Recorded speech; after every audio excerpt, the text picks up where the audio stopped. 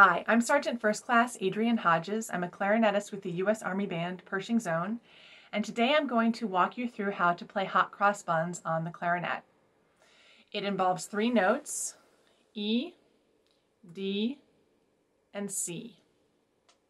So to play E, you cover the tone hole on the back with your thumb, only the tone hole, not the register key, just the tone hole, and you cover right there. So that's your E. Your D, you add this, cover this tone hole right there. And then your C, you add this note. So it's going to be E, D, C. All right, let's go ahead and play the first part of the song.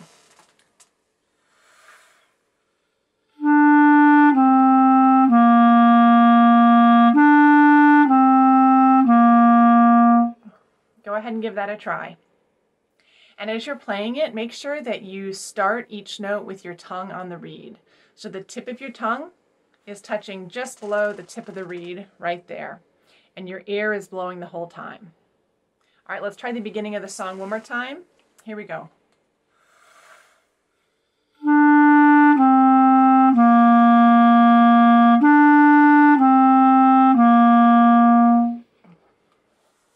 Now the second part of the song is going to be C, C, C, C, D, D, D, D. Let's go ahead and try that.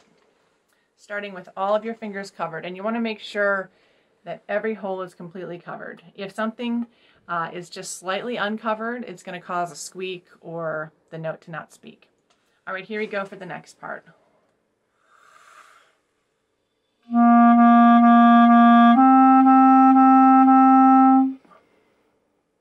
All right, so once you've got that worked out, then we'll add the next part. So now we're going to play C, C, C, C, D, D, D, D, E, D, C. Let's go ahead and play that together.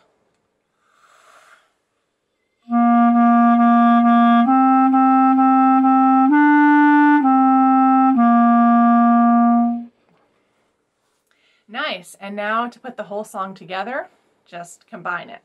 I'll go ahead and play that for you once.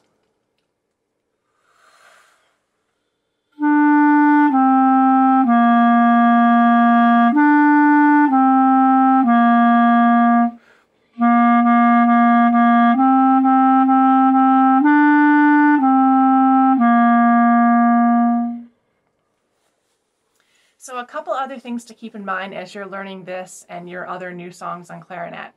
You're going to want to make sure you have a nicely formed embouchure when you play, something like that. There's other videos that explain that. You're going to want to make sure you take a really deep breath and blow a lot of air through the clarinet. You're going to want to make sure you have a consistent air stream. So you want air to always be blowing. You want to try to avoid where you're blowing just for each individual note. You want to keep that air always going.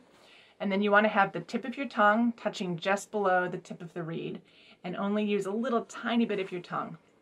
There's a lot of videos that go over all those details. I recommend that you check them out. And I hope this helped you with learning hot cross buns. Thank you.